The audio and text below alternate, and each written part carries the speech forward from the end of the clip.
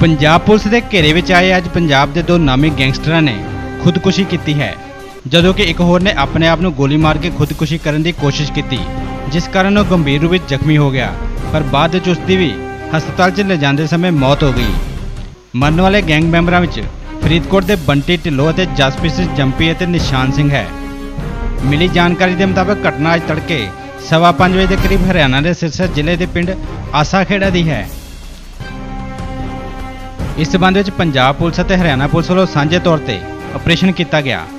ਮਿਲੀ ਜਾਣਕਾਰੀ ਮੁਤਾਬਕ ਫਰੀਦਕੋਟ ਪੁਲਿਸ ਦੀ ਇੱਕ ਟੀਮ ਨੇ ਡੱਬ ਵਾਲੀ ਪੁਲਿਸ ਦੀ ਮਦਦ ਨਾਲ ਤੜਕੇ 4 ਵਜੇ ਇਹਨਾਂ ਗੈਂਗਸਟਰਾਂ ਦੇ ਟਿਕਾਣੇ ਉੱਤੇ ਧਾਵਾ ਬੋਲਿਆ।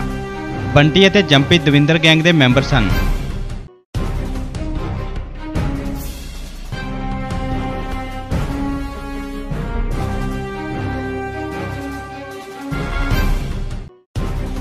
ਮਿਲੀ ਜਾਣਕਾਰੀ ਦੇ ਮੁਤਾਬਕ ਬੰਟੀ ਅਤੇ ਜੰਪੀ ਪੁਲਿਸ ਦੇ ਰਿਕਾਰਡ ਵਿੱਚ A ਕੈਟਾਗਰੀ ਵਿੱਚ ਸਨ, ਜਦੋਂ ਕਿ ਨਿਸ਼ਾਨ B ਕੈਟਾਗਰੀ ਵਿੱਚ ਦੱਸਿਆ ਜਾਂਦਾ ਹੈ।